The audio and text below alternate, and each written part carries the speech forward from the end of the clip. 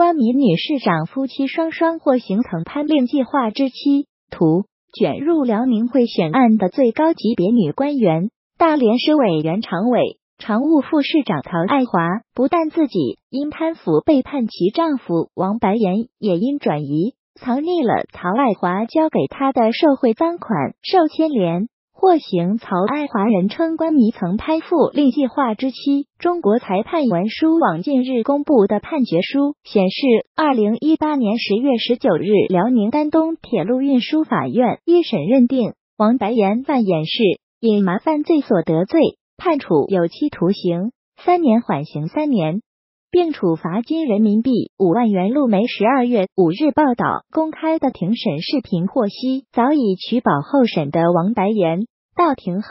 对指控未提出异议，并自愿认罪。王白岩系中国一家著名保险公司大连分公司的副总经理。今年八月二十一日，王白岩的妻子曹爱华被沈阳铁路运输中级法院以贪污罪。受贿罪判处有期徒刑八年六个月。公开履历显示，曹爱华长期在共青团系统工作，历任共青团营口市委副书记、书记、共青团辽宁省委副书记等职。二零零零年任营口市委常委、宣传部长，两年后升任正厅级共青团辽宁省委书记。二零一零年八月，曹爱华出任大连市委常委。大连市副市长，此后又任大连市常务副市长。据王白岩案的判决书显示，曹爱华在担任大连市委常委、大连市副市长期间，陆续将受贿所得的部分外币交给王白岩保管。二零一六年六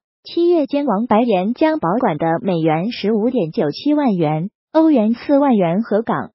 币十五万元，共折合人民币一百四十六万八千一百三十七点二元，藏匿在其母亲家卫生间洗面池下方。王白岩供述称，他知道这些钱。都是别人送给陶爱华的，这些外币都没花，存放在家里，又觉得不安全，就用专门密封鼓完的塑料袋装起来，藏到其母亲家。二零一六年，辽宁人大代表拉票贿选案被曝出，从时任省委书记王民到地方人大代表涉案人员。共九百五十五人，曹爱华也在其中，成为直接涉及此案级别最高的女官员。二零一六年九月二日，中共辽宁省纪委公布消息，时任大连市委常委、常务副市长的曹爱华接受调查。在曹爱华被调查一个月后，二零一六年十月八日，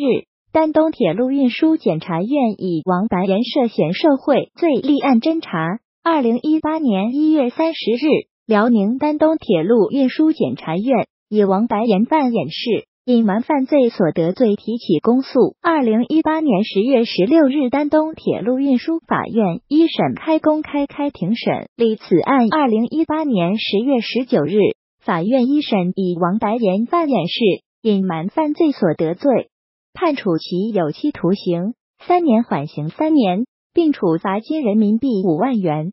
扣押的外币美元十五点九七万元、欧元四万元和港币十五万元予以没收，上缴国库。据路媒报道，曹爱华是一个十足的官迷，一切为自己的升迁让路，曾攀上了令计划的妻子古丽萍。曹爱华不惜一切拉拢靠近古丽萍，他将古丽萍倡导的创业基金项目。作为一个虚假平台，让几千万的资金闲置陪吃陪喝送物送钱，他还给古丽萍的项目拉来了巨额的商业赞助，将省里的重要官员介绍给古丽萍。